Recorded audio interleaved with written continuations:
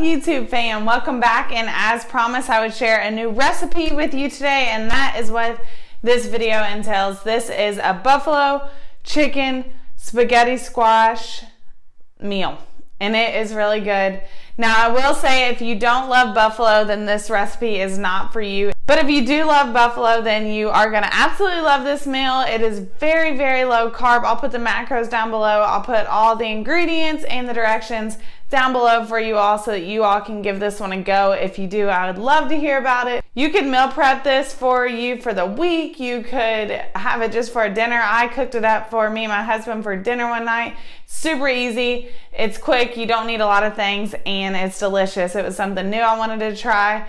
So that's what I did and I wanted to share it with you all. I'm going to keep trying new foods. I am loving Loving, loving, loving trying new recipes, getting in my kitchen. It's very therapeutic. I didn't realize how much I really do love to cook. So I'm going to keep sharing these awesome recipes with you all. This one is one that I would not make every week just because I don't I don't love buffalo sauce on everything and couldn't imagine having it every week right now.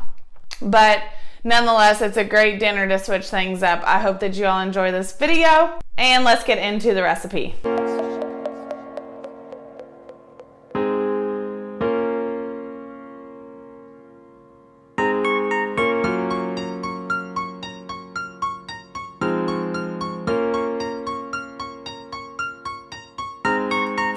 Sunrise in the summertime Let me summarize my life in a 16, alright?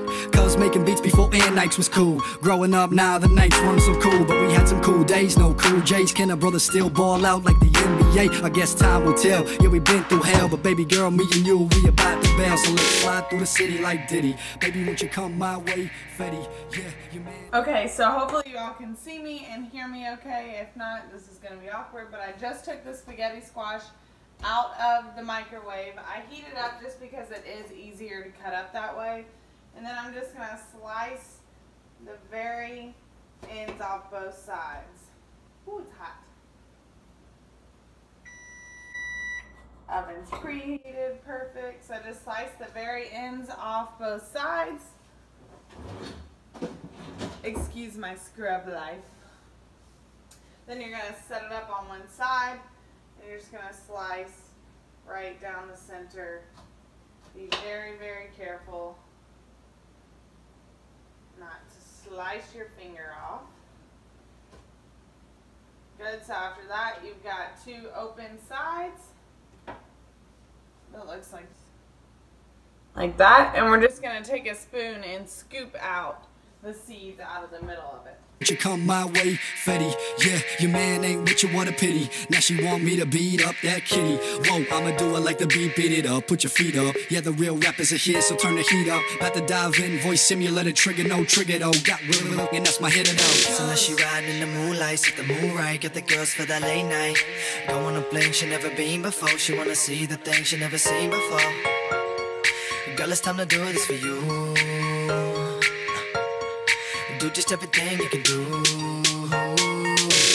So baby girl, with the windows down, let your. And then we're gonna put like an inch of water, or not even, in the bottom of the pan. This is gonna just help it to get nice and soft so that it scrapes away like spaghetti. And we're gonna put that straight into the oven. Oh, this is gonna be so good. I haven't made spaghetti squash in a hot minute. And we're going to bake this for 30 to 40 minutes. I'm going to put 35. Cool. So while that's cooking, then I'm going to go ahead and cook up the chicken in a pan and I'll show you all how I do that.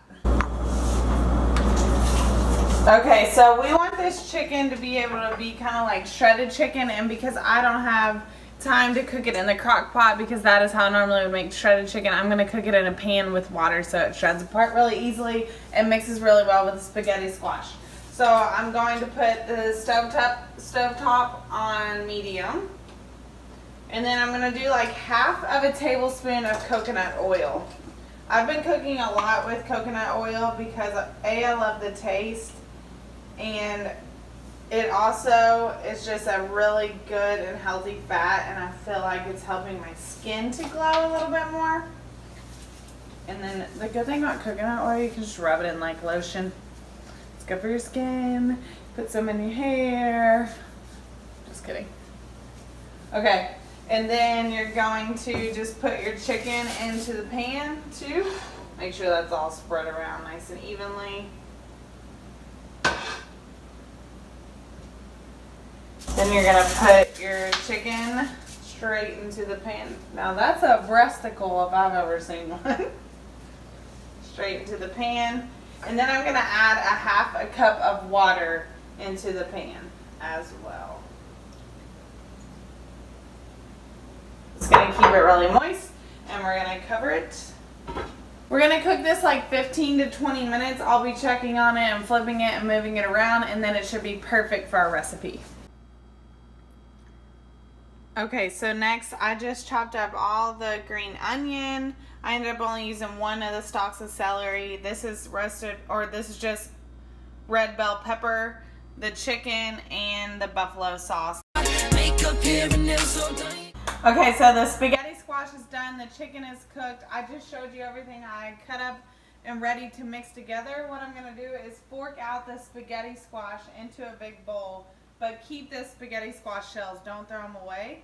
And then I'm going to mix all those other things in with the spaghetti squash like I just showed you and I'll show you what that looks like when I get done with it. Okay, so this is what it looks like all mixed up and then I topped it with some of my favorite seasonings that I thought would go with it. I did pink Himalayan sea salt, garlic, some basil, and some onion and topped it with that and now I'm going to stuff the shells back full half and half of this delicious delicious recipe. All right, so this is what we're working with. I stuffed the two shells back in. This one, I am avoiding dairy right now as much as possible, so I just left it as it is. And then this one's gonna be Derek's tonight. I topped it with some fat-free mozzarella cheese. And then we're gonna pop it back in the oven on 350 for 10 to 15 minutes. So put your best heels on, yeah, go and get that sundress out. It's his loss, go hit the city, line up them shots, make those lips pout. So baby girl, rollin' with the windows down, let your hair out. Makeup, hair, and nails all done, you give it your all, it's your turn now. So put your best heels on, yeah, go and get that sundress out.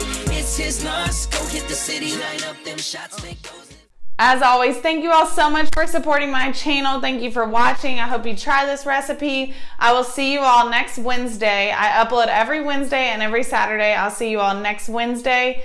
If you haven't yet, give this video a thumbs up. If you do like the recipe videos, go ahead and subscribe if you are not already. I would love to have your subscription. And if you're not subscribed to my newsletter, I send out a High Five Friday every Friday, and it's just a bunch of free content that I give to this exclusive group. If you want to be a part of the High Five Friday group, then the in the description box below, you can subscribe to that, and you will get this next Friday's High Five Friday. Thank you all so much for watching. I love you so much. I love you. I love you. You all are awesome. Don't stop being awesome. Bye.